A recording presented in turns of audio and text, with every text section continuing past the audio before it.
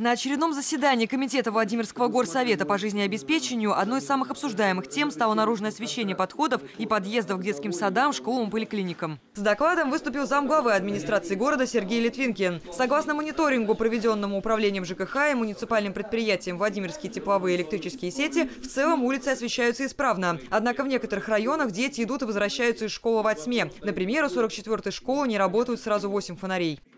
В школе на территории они в светлоте, выходит там темнота. Мы, я вот сам лично подавал несколько адресов.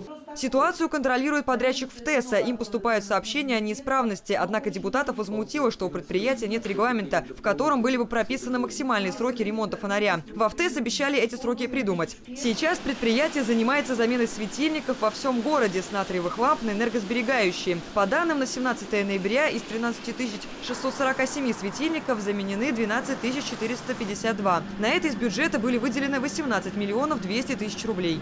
Энергосервисный контракт, он что предусматривает? Э, то, что э, мы будем расплачиваться э, с, с, там, с, с этой организацией, которая участвует в энергосервисном контракте, за счет экономии электроэнергии, которая будет определена этими светильниками.